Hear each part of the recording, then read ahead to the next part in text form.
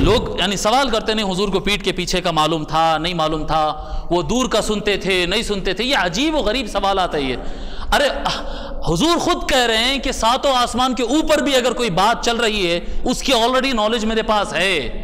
اب دیوار کے پیچھے، دیوار کے سامنے یہ یہ یہ کیا ہے؟ یہ ٹائم پاس اور فرقہ بندی کے بلا وجہ کے فضول جھگڑے ہیں۔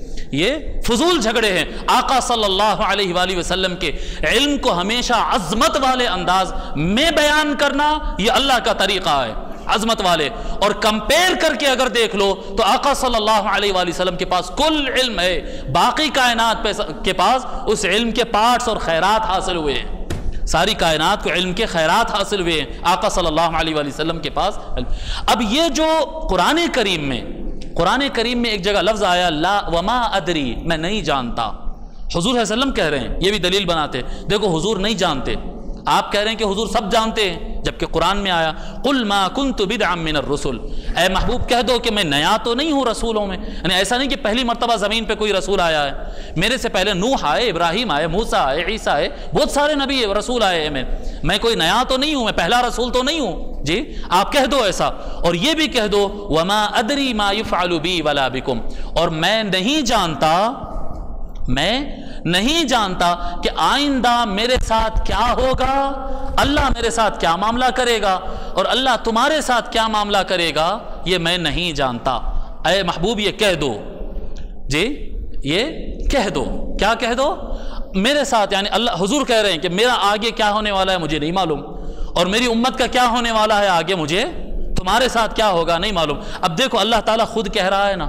کہ کہہ دو نہیں معلوم مل کے۔ جب اللہ کہہ رہا ہے، نبی کو نہیں معلوم کہہ دو اور حضور خود کہہ رہے ہیں کہ نہیں معلوم ہے، تو تم کیسا بولتے کہ حضور کو سب معلوم ہے؟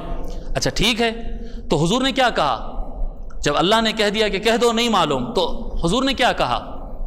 حضور صلی اللہ علیہ وسلم کیا کہتے سنن ترمیدی حدیث نمبر تین ہزار چھ سو گیارہ۔ حضرت ابو حریرہ رضی اللہ تعالیٰ عنہ ارشاد فرماتے سب سے پہلے کیا ہے؟ لا ادری ما یفعل بی۔ میرے ساتھ کیا ہوگا مجھے پتا نہیں۔ یہی بولنا ہے نا؟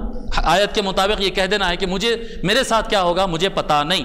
تو اب حضور وسلم کہہ رہے ہیں۔ قال رسول اللہ صلی اللہ علیہ وآلہ وسلم، حضور صلی اللہ علیہ وسلم فرماتے ہیں، انا اول من تنشق عنہ الارض میرا فیوچر کیا ہوگا؟ حضور اپنا فیوچر بتا رہے ہیں۔ جب قیامت کا سور پھوکا جائے گا، تو سب سے پہلے زمین میرے اوپر سے کھلے گی، پہلے باہر میں نکلوں گا۔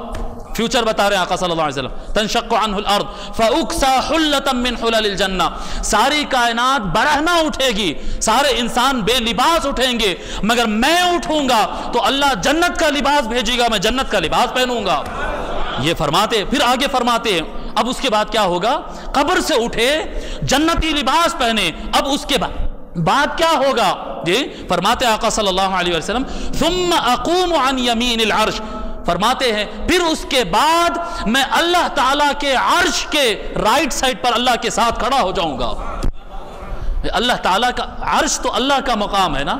میدان محشر ہوگا، پورا میدان محشر سامنے حساب دینے کھڑا ہوگا۔ حضور صلی اللہ علیہ وسلم فرماتے، میں عرش الہی کے رائٹ سائٹ میری سیٹ رہیں گی۔ میری میری سیٹنگ کہاں پر آپ کہاں بیٹھ رہے ہیں؟ اللہ حاکم ہے آج کا۔